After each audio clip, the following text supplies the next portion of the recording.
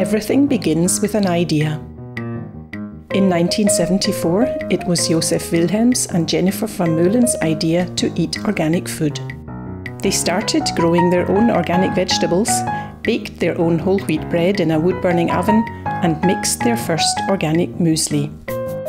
Many other people also liked the idea of eating as naturally as possible. So Joseph and Jennifer founded a small organic company that they named Rapunzel. In order to produce organic muesli, Joseph Wilhelm took an adventurous trip to Turkey in 1976 in search of unsulfured and non fumigated dried fruits and nuts.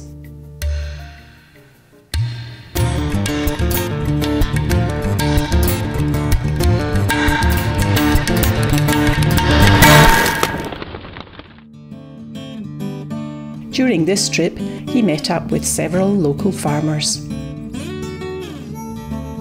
Today, Rapunzel purchases many different products from Turkey, for example, figs, apricots, hazelnuts, or olives.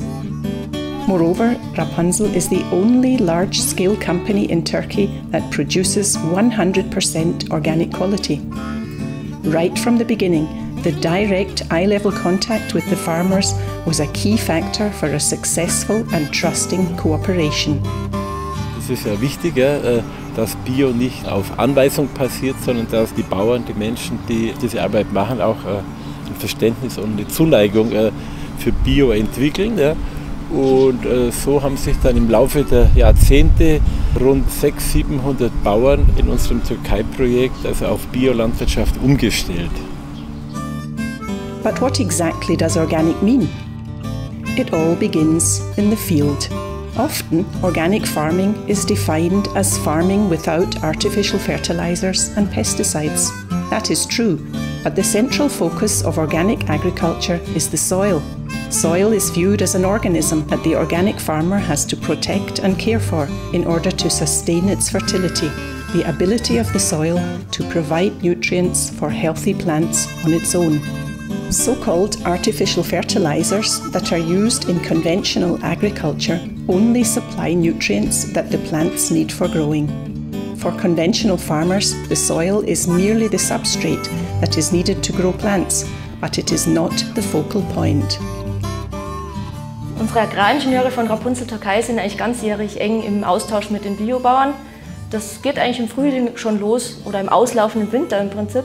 Da geht es um Schulungen. Einerseits äh, geht es um die natürliche Düngung, es geht um den richtigen Schnitt bei Obstbäumen, es geht aber auch um den richtigen Pflanzenschutz oder den Schutz vor Schädlingen.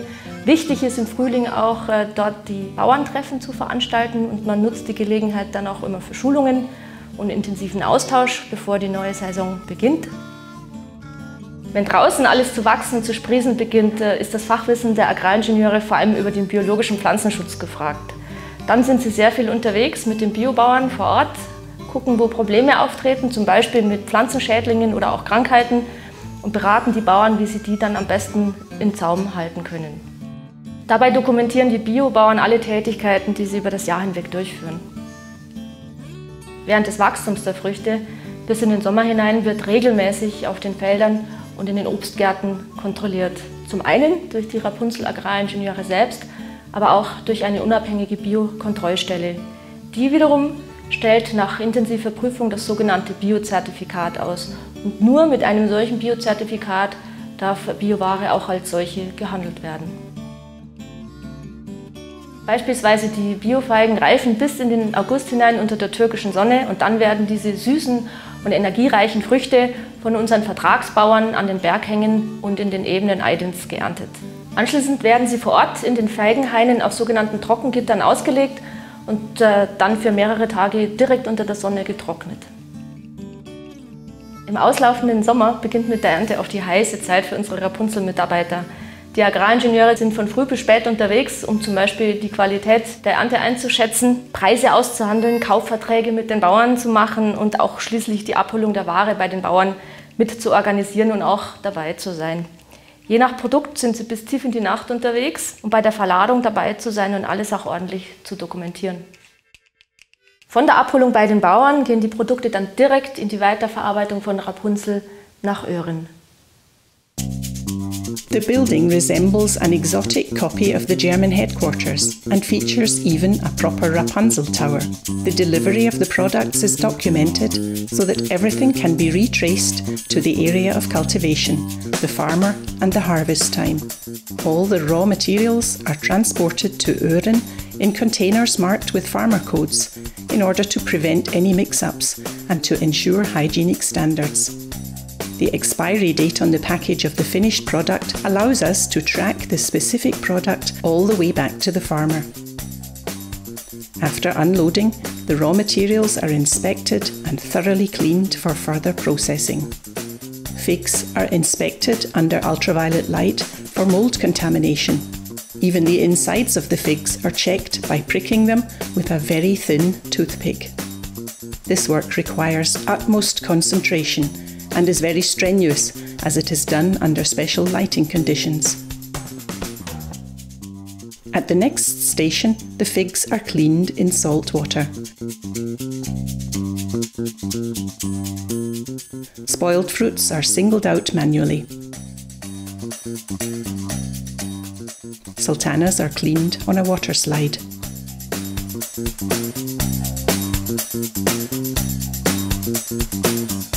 Dirt particles, pits, and stems are removed on a vibrating plate.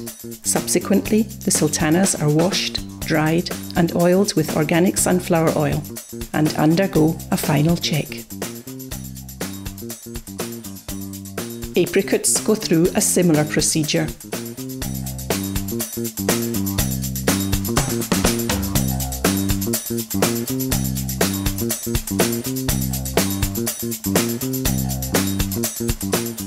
After being cleaned on the water slide, the apricots are blow dried.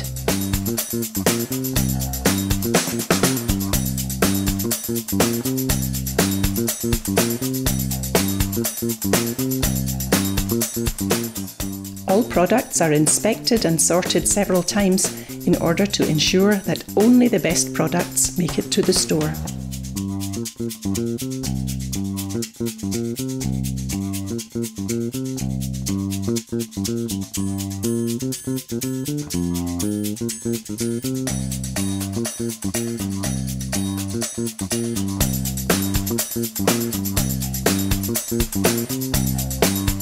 Additional processing steps, such as packing the figs into baskets, are also performed in Turkey in order to keep the greatest possible work value in the project country.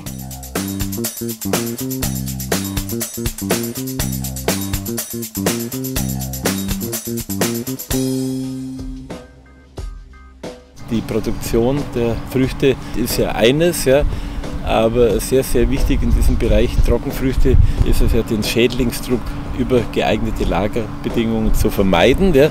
Wir tun das mittels großer Kühlhäuser. Because pesticides and storage agents are strictly prohibited in the organic food industry. Da haben wir eine eigene Qualitätssicherung, die von allen Rohwaren, die von den Bauern kommen, mustert sieht, analysieren lässt, Rückstellproben macht. Ja bis die Ware dann als Fertigprodukt auf den Markt kommt. The close intervals of the quality monitoring is complemented by organoleptic tests that are performed at Rapunzel headquarters in Germany and by different analyses carried out by external and independent laboratories. Therefore, the entire manufacturing process has been optimized with respect to energy consumption and efficiency. The refrigerated warehouses are fully insulated and the drying process is emission free.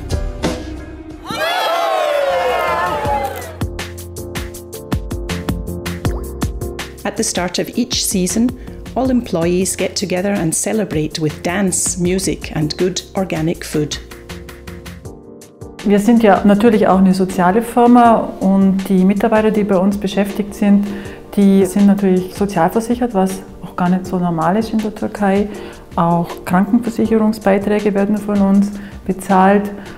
Die Mitarbeiter bekommen von uns natürlich auch ein warmes Menü zum Mittag und arbeiten in hellen Räumen, die äh, gut durchlüftet sind. Gemäß unserem Leitspruch, wir machen Bio aus Liebe, äh, gehen wir davon aus, dass auch die Zuneigung der Menschen, die die Lebensmittel verarbeiten, einen Einfluss auf die Produktqualität haben. Ja.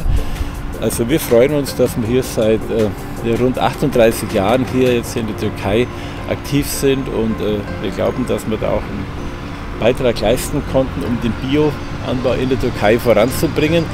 Äh, Rapunzel Türkei war die erste äh, Bioaktivität in der Türkei. Ja. Darauf sind wir auch ein bisschen stolz, ja, dass wir da Beitrag leisten konnten äh, zu einer nachhaltigen Entwicklung.